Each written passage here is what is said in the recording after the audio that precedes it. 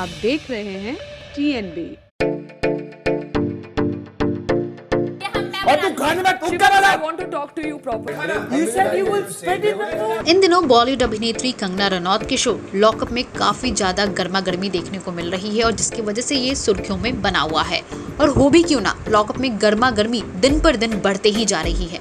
Contestant के बीच हो रही आपसी झगड़ों और टास्क कांड हर दिन नई शक्ल ले रहे हैं। एक बार फिर से लॉकअप में शोर मच गया है और एक बार फिर टारगेट में आ गई है पायल रोहतगी। जी हाँ बड़ी ही बेबाकी और समझदारी से लॉकअप में खेल खेल रही पायल पर इस बार विरित ने अपना आपा खो दिया और खाने में थूकने का आरोप भी मर दिया है। बता दें कि हाल ही में वायरल हुए इस वीडियो में देखा जा सकता है कि किस तरह पायल पर ज़ोर ज़ोर से विनित चिल्ला रहे हैं और खाने में थूकने का आरोप भी लगा रहे हैं। तो आइए सबसे पहले नज़र डालते हैं इस वीडियो मैं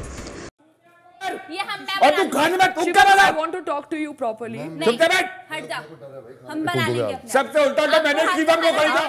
मैंने शिवम को खरीदा खाना है? नहीं खाने मेरे को खाना है इसके हाथ। में spit जाओ। on the phone आ जाओ on the I food. have not She did spit on the gender.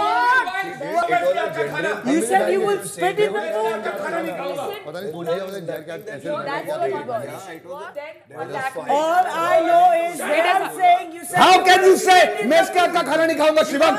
तू मेरे अंडा बना दे मैं इसके हाथ का खाना नहीं खाऊँगा। थूके कि मेरे खाने में ये? मेरे खाने में थूक देगी भाई हमें क्या पता? नहीं हम नहीं खाएँगे यार। थूका हुआ खाना नहीं खाना भाई।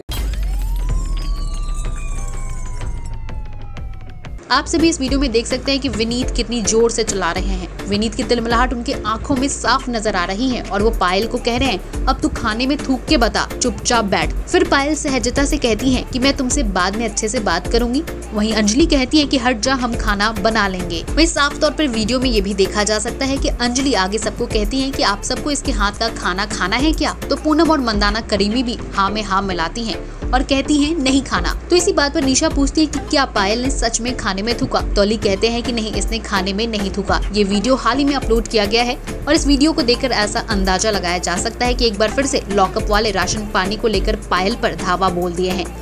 एक बार फिर से खिलाड़ियों के निशाने पर पायल आ चुकी है। जी हाँ फ़िलहाल तो प्रोमो को देखकर यही अंदाज़ा लगाया जा रहा है कि पायल मौके को बड़ी ही सरलता से शांत कर रही है, लेकिन लॉकअप वालों का गुस्सा सातवें आसमान पर है। साथ ही इस प्रोमो को देखकर ये भी अंदाज़ा लगाया जा सकता है कि आगे आने वाला एपिसोड बेहद ही गर्मा गर्मी भरा वाला होने वाला है, दर्शकों को खूब मज़ा आने वाला है।